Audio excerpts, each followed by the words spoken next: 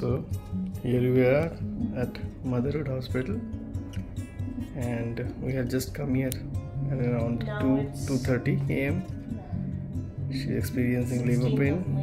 Yeah, 16th of May. She's experiencing labor pain since around uh, like 11 p.m.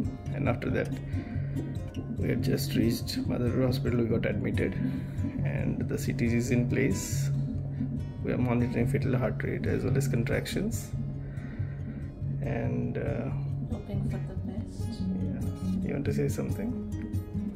Uh, I just am getting a contraction now. Uh, well, I actually I always wanted to go, you know, into labor, uh, natural labor, spontaneous labor, because I wanted to know how it is, how the pains are, how how is it to experience. So today happened. Initially, I couldn't understand what is happening. I was feeling just, I was feeling something. I was feeling a lot of discomfort. I was feeling lower abdominal pain, but I wasn't understanding that these are labor pains.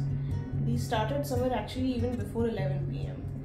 And uh, then, then I just sat for half an hour. I just cleared my mind and then I concentrated on my tummy.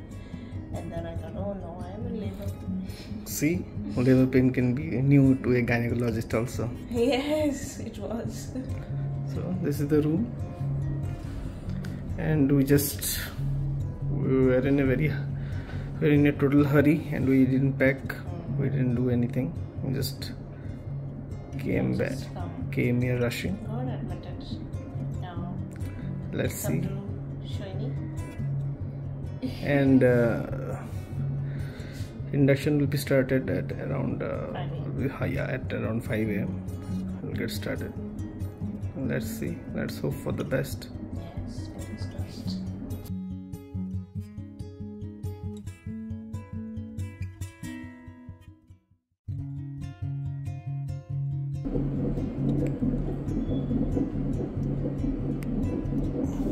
And two fingers loose now. 30 to 40 percent effaced. Getting contractions, pains, and all listening to Prateek Kuhad to divert my, you know, focus from the pain.